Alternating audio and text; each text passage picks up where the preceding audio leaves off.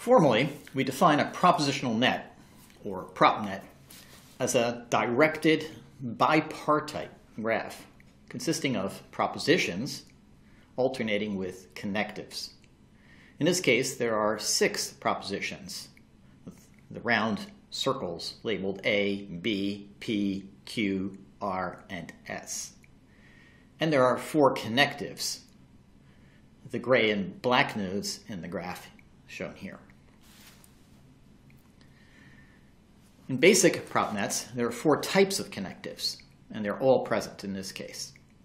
There is an AND gate on the upper left, an inverter on the upper right, an OR gate on the lower right, and a transition on the lower left. Propositions are typically partitioned into three classes. Input propositions those with, are those with no inputs. Base propositions are those with incoming arcs from transitions. And view propositions are those with incoming arcs from connectives other than transitions. In our example here, nodes A and B are input propositions. Node S is a base proposition. And nodes P, Q, and R are view propositions. An input marking is a function from the input propositions of a propositional net to Boolean values. Uh, a base marking is a function from the base propositions of a propositional net to Boolean values. And a view marking is a function from the view propositions of a propositional net to Boolean values. And we use the word marking to refer to a combination of an input, base, and view marking. Now, given a prop net, an input marking and a base marking determine a unique view marking for that propnet. This is based on the types of the connectives leading into the view propositions. The output of an inverter is true if and only if its input is false, for example. The output of an AND gate is true if and only if all of its inputs are true, as suggested by the second table. And the output of an OR gate is true if and only if at least one of its inputs is true. Transitions behave just like AND gates, except that there's a one-step time delay. The output occurs one step after the inputs. Here's an example.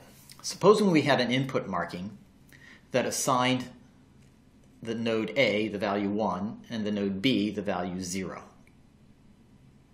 That's the node in the upper left and the down node in the lower right. And supposing we had a base marking that assigned S the value 1, that's the one in the lower left.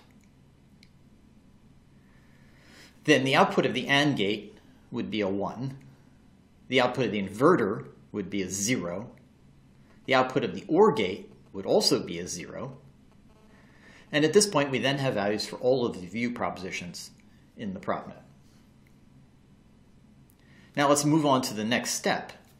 Supposing once again the input is, is, has A being 1 and B being 0.